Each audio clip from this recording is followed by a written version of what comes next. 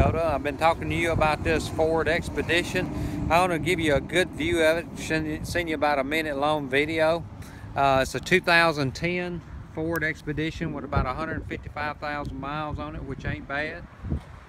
Got a roof rack on it. Running boards, good tires all the way around. Got the right color, blue and tan.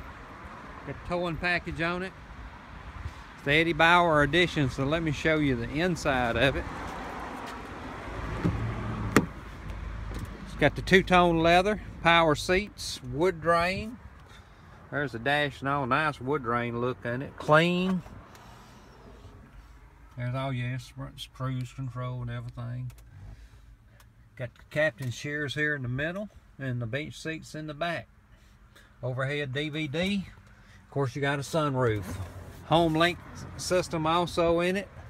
Uh, got a good deal going on it. Got a good price on it. 2010, 155,000 miles on it.